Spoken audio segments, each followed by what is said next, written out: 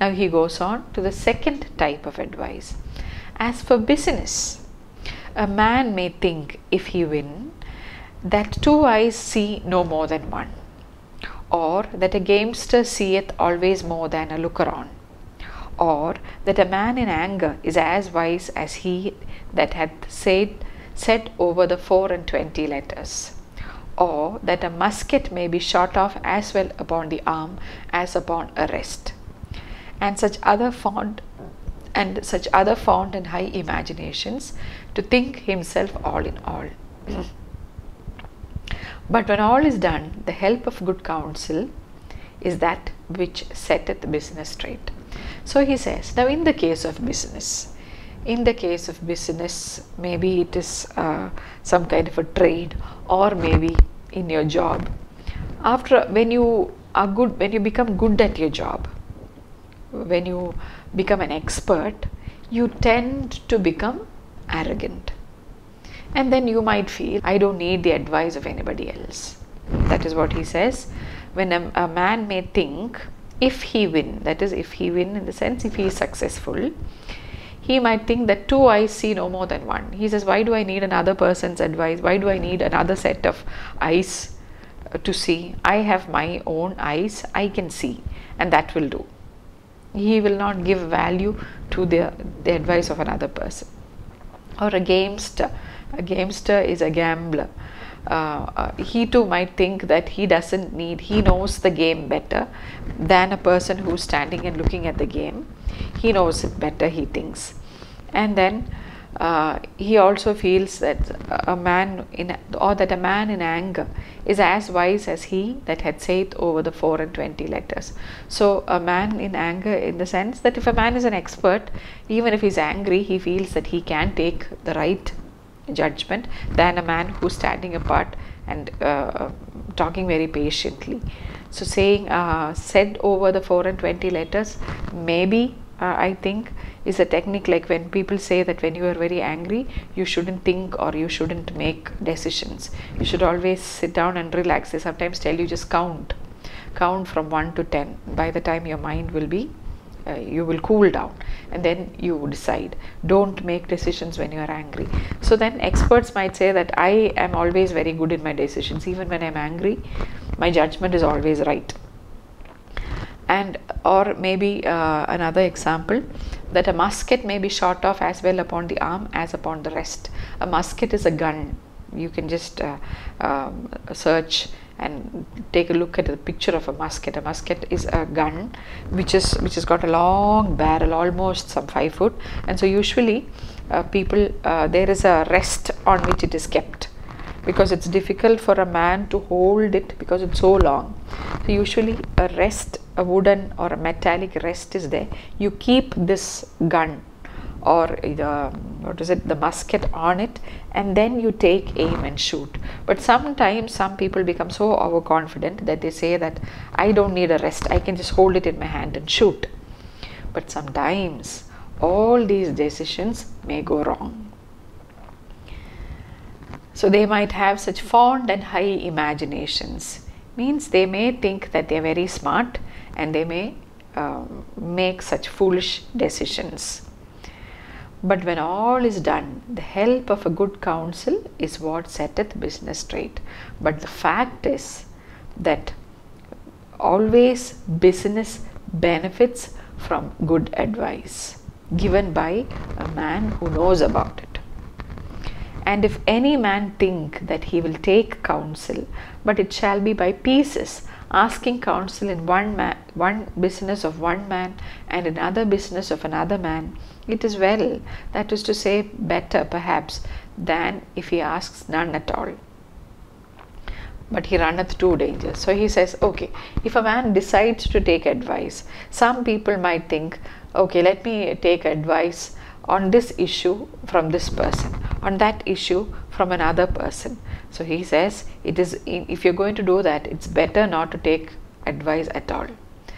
Because it has two dangers. That is taking advice from too many people has two dangers. One that he shall not be faithfully counseled for it is a rare thing, except it be from a perfect and entire friend, to have counsel given, but such as shall be bowed and crooked to some ends, which he hath that giveth it. So he says that is not safe to take advice from too many people. You have to take advice from a perfect and an entire friend because other people who give you advice might have some crooked ends. They might have some hidden agenda when they advise you.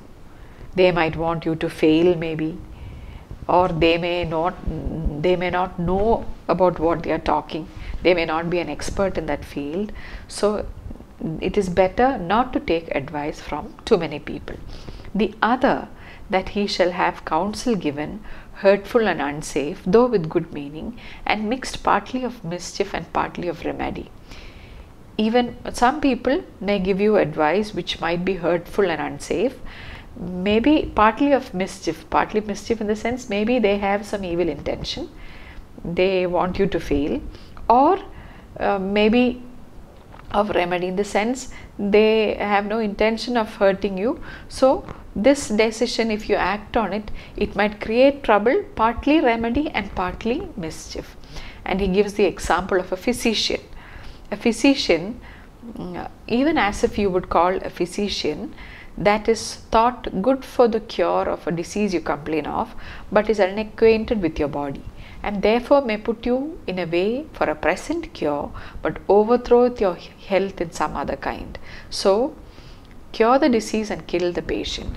So, he gives another very, very poignant and telling example. He says, sometimes if you go to, you have an illness, you go to a doctor, and this doctor knows nothing about you.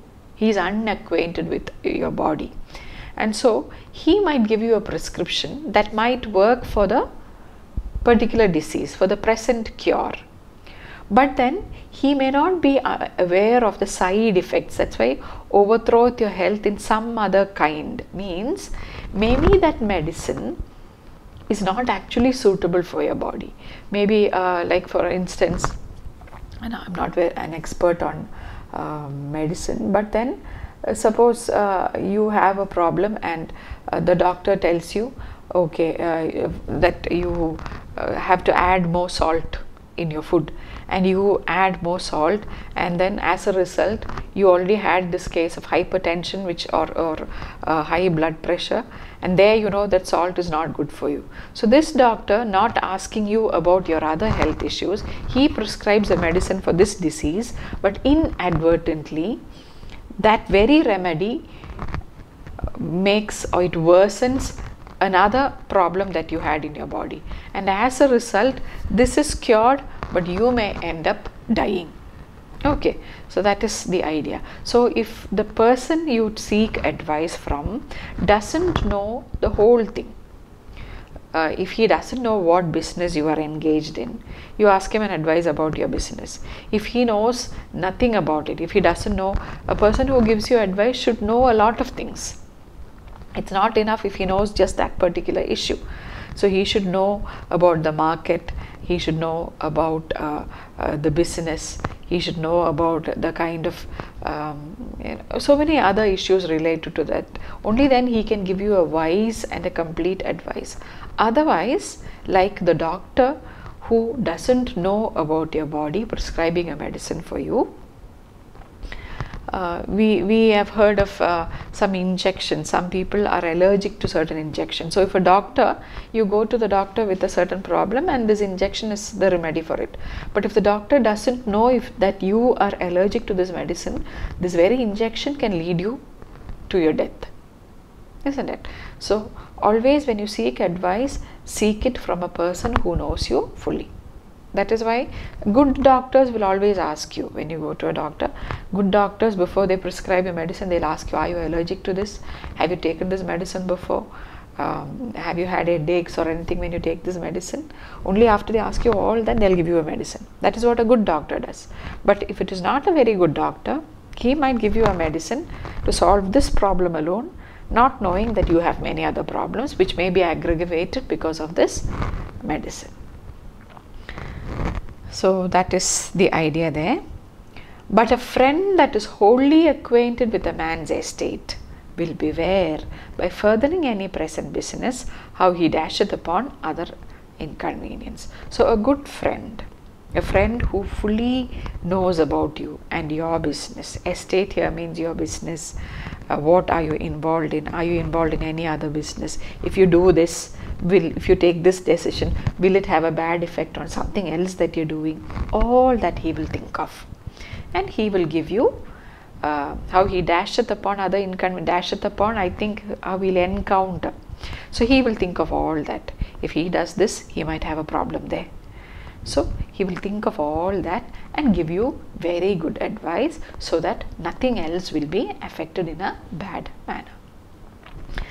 And therefore, rest not upon scattered counsels. They will rather distract and mislead than settle and direct. So he says, so don't go in for scattered counsels, means don't ask too many people for advice because that will only distract and mislead instead of settling and directing us towards the right solution.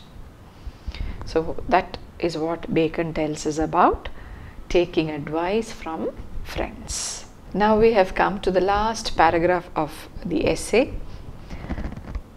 After these two noble fruits of friendship, peace in the affections and support of the judgment, followeth the last fruit. So he says, I have come to the third one, third benefit. What was the first benefit? Peace in the affections, in the sense that relief of your passions by sharing. Second was support of the judgment, how a good friend will give you good advice and give you good judgment of things. Now he says, I am going on to the third and the last one, which is like a pomegranate full of many kernels. You know the pomegranate fruit. You peel it open. There is this hard cover. You peel it open. You have a lot of red shiny uh, kernels inside. So he says that is the third one. Full of many kernels i mean aid and bearing a part in all actions and occasions. So there are so many things that a friend, just like a pomegranate with many kernels, true friendship can help us in so many ways. Here, the best way to represent to life the manifold use of friendship is to cast and see how many things there are which a man cannot do himself, and then it will appear that it was a sparing speech of the ancients to say that a friend is another himself, for that a friend is far more than himself. So he says, you just have to sit and think uh, cast and see means just cast your thoughts on it and think of how many things you have to do in life. There are so many things. How much can one man do by himself? And then you will understand what the ancients said. The ancients have said that a friend is another himself.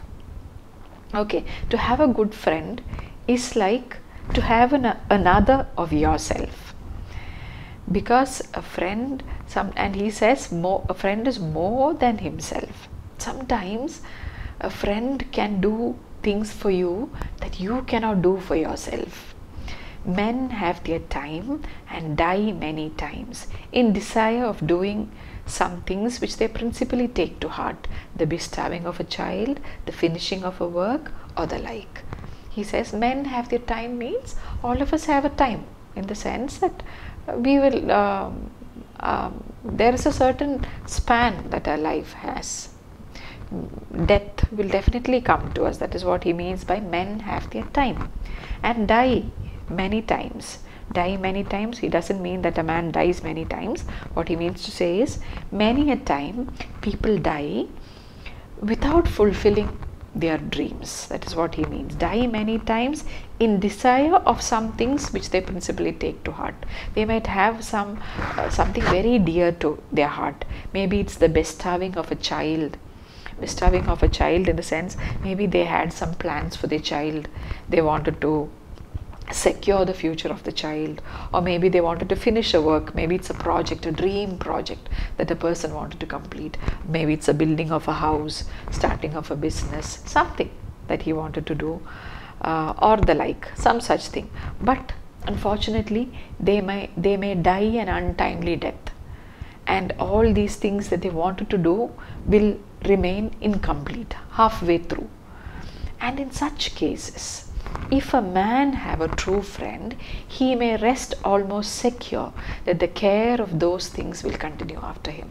So, if you have a good friend, you can die in peace because you can be assured that your friend will carry forward your dream, that your friend will take care of your child. He will make sure. We have so many cases, isn't it? When a person dies, how his friends they provide for the family, uh, how a project that was left halfway through, the friends join in and they continue the project uh, onward.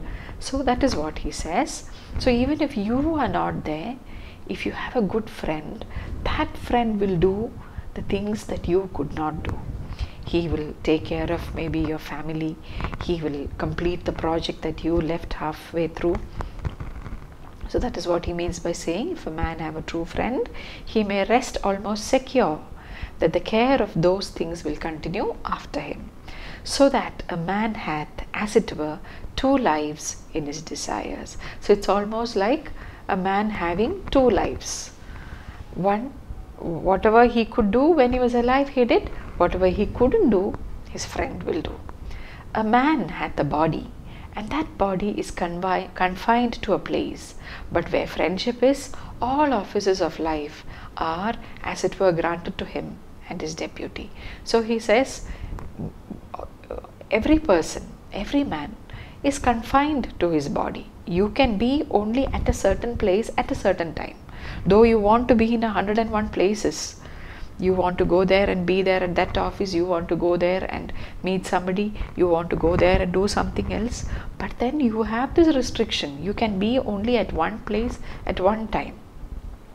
But then, if you have good friends, you can be at one place, but all that you want to get done, they can all be accomplished because you can depute it to your friends. You can send a friend there to do that particular job. You can send another good friend to the other place so that he can do it for you. Hmm?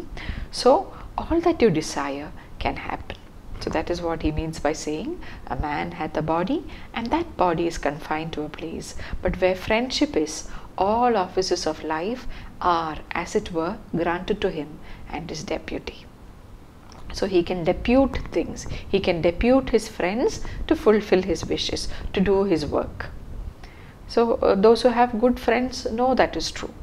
You can always uh, tell your friend, see, I can't go there. Will you please go there and do it instead of me? And when a friend tells you to do that, you to do that, isn't it? So uh, somebody is coming uh, to the airport and you can't go there to pick it. So you tell your friend, so please go there and pick my friend up.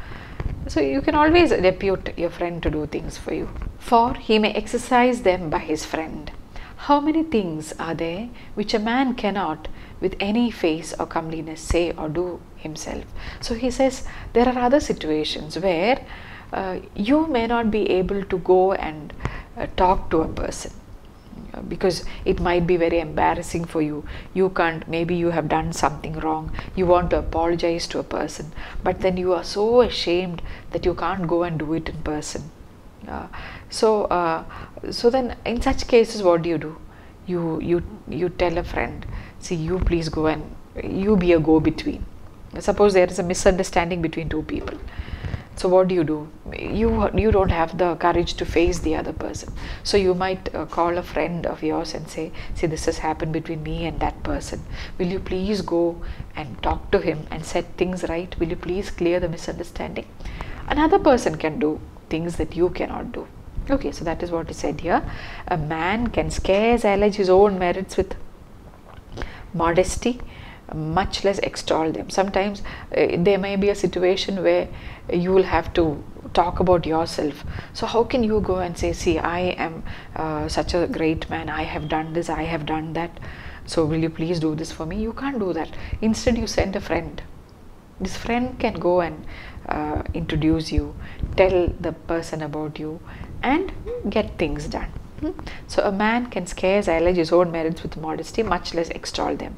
A man cannot sometimes brook or supplicate, supplicate or beg. So some there might be instances where you'll have to go and beg somebody to help you, but a friend can do it for you. Uh, the friend can in, be an intermediary. He can go and talk to the other person. He can uh, uh, not beg actually. He can talk for your um, in your place and a number of the like. So there might be many difficult situations where you can't personally deal with it. In such instances, a friend can always intervene and be of great help. But all these things are graceful in a friend's mouth, which are blushing in a man's own.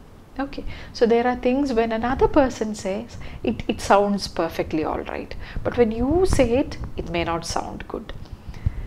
So again, a man's person hath many proper relations which he cannot put off. A man cannot speak to his son but as a father, to his wife but as a husband, to his enemy but upon terms, whereas a friend may speak as the case requires and not as it sorted with the person. Isn't it? That's another thing. You know, how, how, how well Bacon has observed people, observed life. That is something I always you know, I'm taken aback when I read Bacon's essays. So he says, see, we all have certain roles to play. To, uh, to a son, uh, um, a, a father can talk only as a father. To a wife, he can only talk as a husband. To an enemy, he can only talk in that terms. But suppose there is something, there is a misunderstanding between your son and you, especially he's talking about men, between a father and a son and the father may find it very difficult. Maybe the father spoke rudely to the son. Maybe he said something to the son that he shouldn't have said. Same way, maybe the son said uh, spoke very rudely to the father. In such cases, it might be very difficult for the father, as a father, to go and apologize to his son. So, in such instances, what he can do is he can ask a friend to help. A friend can go and talk to the son and tell him, see, that is not what your father meant. Or the father or your, your father only wanted uh, your good. That is why he said that. It's not because he hates you. So, even when there is a misunderstanding between the husband and the wife, a good friend can intervene and set things right.